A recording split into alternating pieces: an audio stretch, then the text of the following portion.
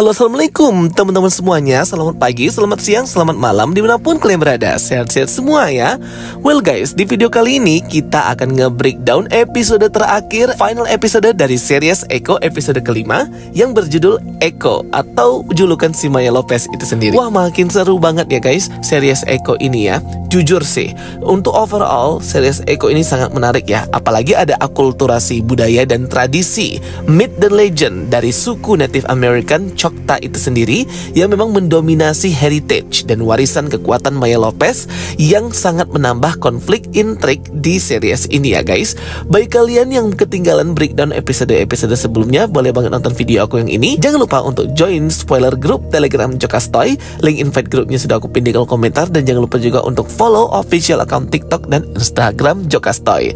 Oke guys, kita langsung aja ya breakdownnya. Here we go. Episode kelima ini berjudul Echo. Di opening awal menampilkan bagaimana Maya Lopez ini tidak sengaja atau bisa juga disengaja ya membunuh burung woodpecker, burung pelatuk berjambul merah itu ya, yang memang merupakan burung spiritual animal bird totem dari bangsa Choctaw ya.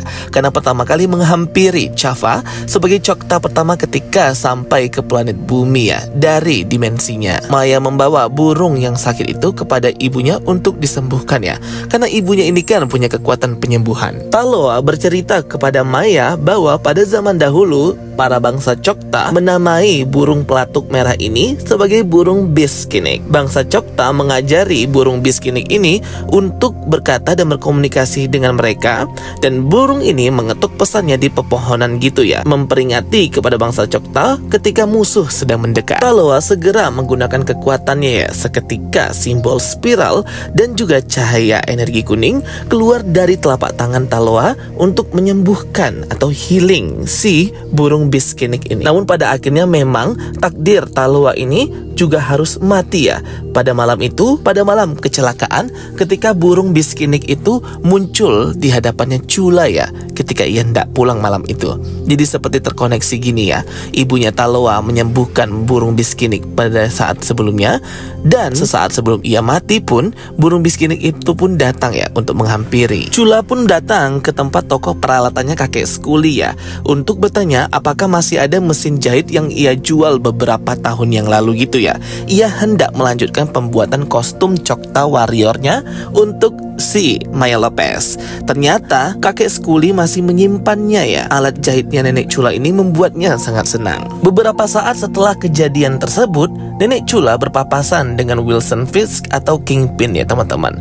Dan di sini terlihat bahwa Kingpin hendak menculik si nenek Cula ini. Setelah mengetahui bahwa memang nenek Cula ini adalah nenek dari Maya Lopez ya guys. Ternyata terlihat Maya mengendarai motornya menuju pekan raya Choctaw Popo. Ternyata Maya datang ke pekan raya ini ya teman-teman. Ketika sedang bersantai di kafe tempat pekan raya Choctaw tersebut, Maya pun melihat pesannya bahwa Biscuit memperingatkannya bahwa nenek Cula dan Bonnie itu belum datang ke pekan raya. Padahal harusnya sudah datang satu jam yang lalu. Maya pun curiga sembari melihat burung Biskinik burung pelatuk jambul merah itu yang mengatuk-ngatukkan paruhnya ya. Seperti apa yang dikatakan oleh ibunya Maya, adanya burung itu ialah untuk memperingatkan bahaya serta menjadi spiritual animal guide gitu bagi bangsa Choctaw. Akhirnya Maya tahu bahwa ini semua adalah rencana yang dilakukan Wilson Fisk untuk bisa menyakiti orang-orang yang dicintai Maya Lopez, termasuk terdahulu ialah ayahnya sendiri. Dengan panik dan sedih, Maya mencari Bonnie dan neneknya Chula ya ke rumah neneknya. Namun ia tidak bisa menemukan kedua orang tersebut ya. Alih-alih menemukan mereka, Maya malah melihat penglihatan ibunya sendiri ya. Datang kepada dirinya menggunakan kekuatannya untuk menghiling atau menyembuhkan hati Maya yang luka itu ya teman-teman. Berkata bahwa kami semua atau para leluhur yang memiliki kekuatan itu hidup dalam diri Maya ya. Kami semua bergema atau echoing melalui diri si Maya itu untuk bisa memberikannya kekuatan. Jadi jangan takut Maya tidak sendirian. Ibu Maya berkata bahwa Maya ini adalah spesial. Maya merupakan keturunan langsung dari para ancestor atau leluhurnya yang memiliki kekuatan sebagai Choctaw pertama. Maya termasuk adalah wanita-wanita istimewa yang dianugerahi kekuatan ya teman-teman. Dengan Chava, ialah sebagai cakta pertama. Mereka semua adalah pelindung bagi bangsa mereka, orang-orang mereka. Mereka berjuang demi orang yang mereka sayangi dan keluarga tercinta. Sekarang giliran Maya untuk berjuang dan meneruskan tradisi kebaikan ini. Ibunya berkata, "Jangan pernah lari dari apa pun itu. Berjuang dan tinggallah di sini untuk kita semua, untuk bangsa Chokta." Ibunya Maya juga berkata bahwa pakailah kostum buatan dari neneknya Chula ini ya, yang menggambarkan keganasan yaitu Chava, strategi yaitu Loa, kecerdikan yaitu Tuklo, cinta yaitu Taloa. Sedangkan Eko ialah sebagai penyempurna atau penghubung ya dari semua kekuatan dari leluhur-leluhurnya. Kembali ke pekan raya bangsa Choctaw Pau Pau, di sini terlihat banget ya teman-teman ya bahwa Marvel Studios itu all in out banget dan perfect serta sempurna banget nih untuk mengcapture, memperkenalkan budaya tradisi dari bangsa Choctaw. Di sini semuanya terlihat memakai kostumnya bangsa Choctaw untuk bergembira bersama, bernyanyi, menari dan memperkenalkan budaya dari bangsa Choctaw di pekan raya ini ya teman-teman. Ternyata bawahan Kingpin sudah datang di sini ya untuk menyergap pekan raya ini. Zain serta bawahan-bawahannya itu juga sudah lengkap ya dengan senjata mereka masing-masing. Pesta budaya bangsa Chokta pun sudah dimulai di sini. Maya pun menyusup ke grup penampilan budaya ini untuk bisa mengelabui bawahannya Wilson Fisk dan Zain yang sudah sedari tadi tersebar ya di beberapa titik tempat perhelatan pesta bangsa Chokta ini ya teman-teman. Terlihat juga di sini ada si burung pelatuk jambul merah biskinik itu lagi ya.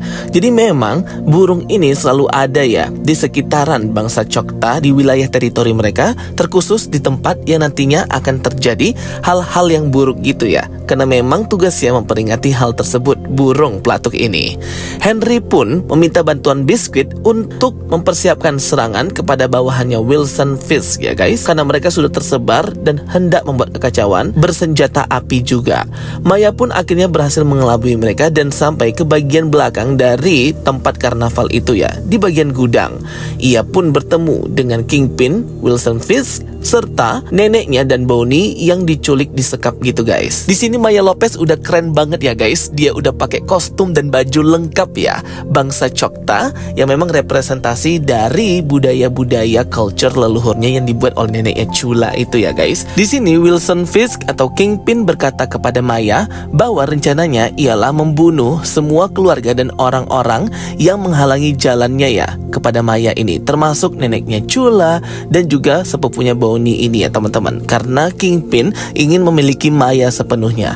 Tak segan-segan membunuh ayahnya Maya Lopez itu sendiri Untuk memiliki Maya. Jadi di sini terobsesi banget ya si Kingpin ini Dengan si Maya Lopez membuat Maya tambah membencinya. Maya pun tidak rela ya Bahwa neneknya ataupun Bonnie disakiti atau dibunuh oleh si Wilson Fisk. Sudah cukup ayahnya mati di tangannya dan mengkhianati Maya Lopez.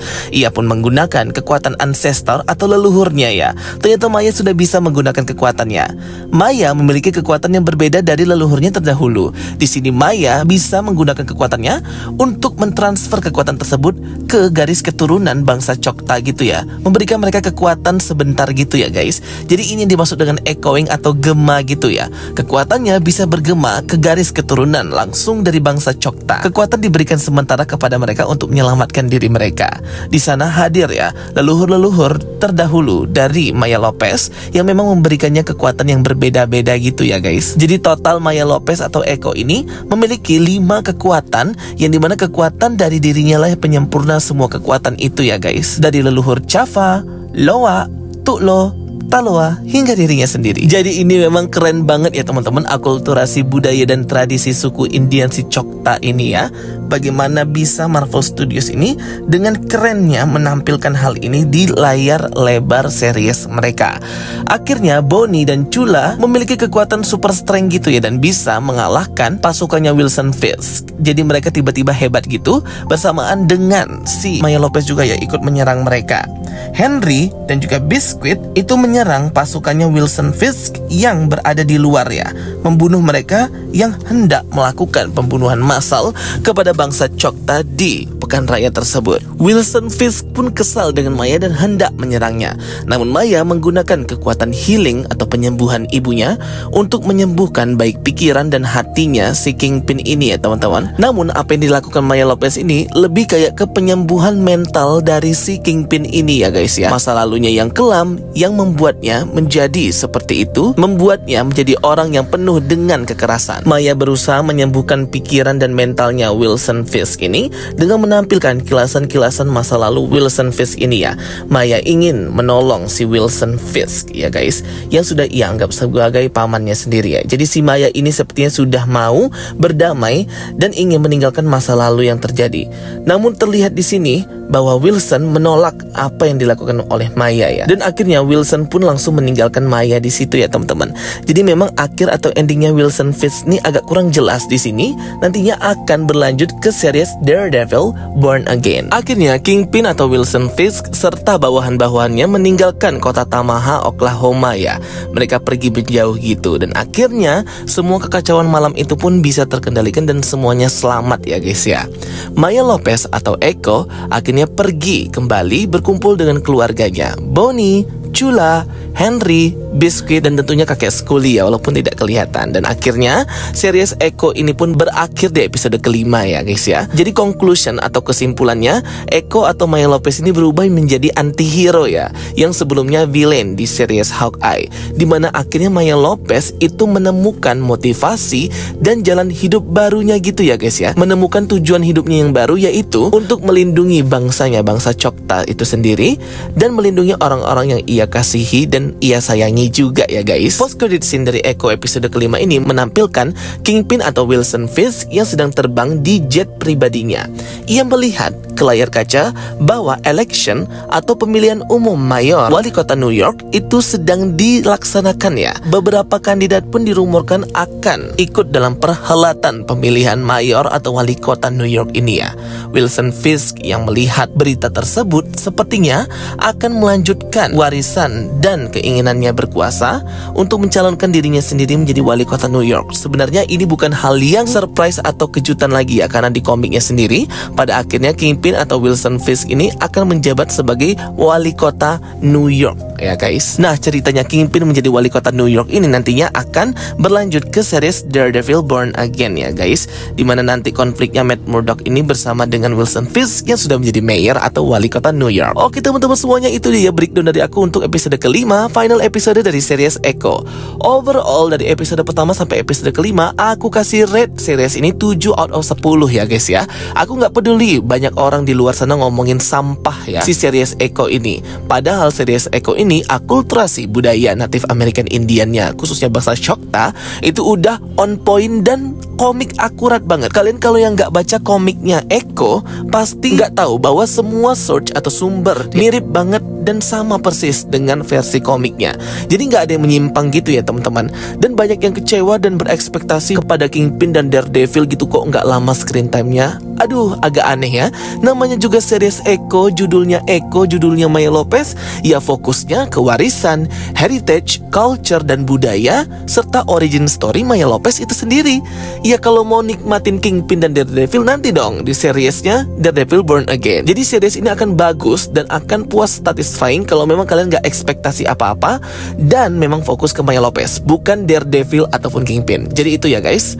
Oke teman-teman semuanya, thank you for watching my videos dan begitu like and subscribe. Ketemu lagi di video aku berikutnya. Sampai jumpa semuanya and bye bye, see you next time.